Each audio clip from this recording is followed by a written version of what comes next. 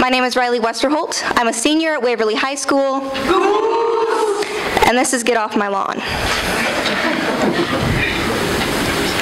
I'm here to set something straight.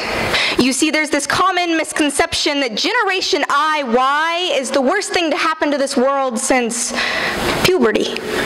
They say we have no aspirations because we can't afford college. They call us over-medicated and undereducated because expensive medications for imaginary problems means less money for expensive educations. They say apathetic, lazy because we'd rather call our friends than get out of our cars and ring the doorbell to let them know we're out front. They say shallow, materialistic. They say we're letting our obsession with technology ruin our futures. They say we're too busy looking down at our Instagrams to notice that our world is pulling apart at the seams. They say narcissistic because selfies are a sign of the impending apocalypse. They say they've never seen a generation as unruly as ours. But once upon a time, there was a generation infamous for its laziness. The people were obsessed with their money and what it could buy. They were called the lost generation. This was not my generation, although the name has been recycled and they say we're unoriginal. This was the 20s. I'm not saying that makes drinking moonshine into oblivion while cruising around in your new Model T Ford any worse than trying to take a selfie while driving. Simply that the judgment of a whole generation should not be based on the characteristics of the few. I'm not saying we're perfect. Does my generation have an obsession with technology? Sure. But look at the amazing things we've done with it thus far.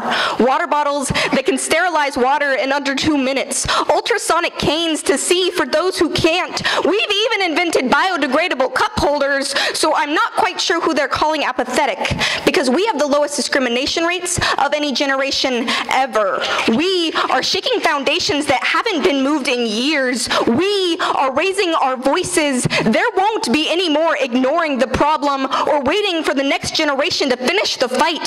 Racism is still a problem. Sexism is still a problem. And although they have their eyes closed and their heads turned away, we aren't forgetting those who've been lost in wars waged on several fronts.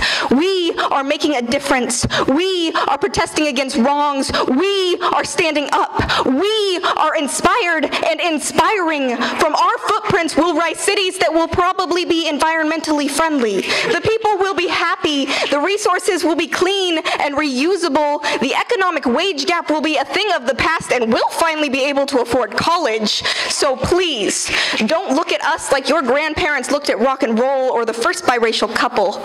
Because while I will not guarantee that everyone from my generation is a good person, I can promise that my generation will leave behind something truly great. So just you wait and see. We're only getting started.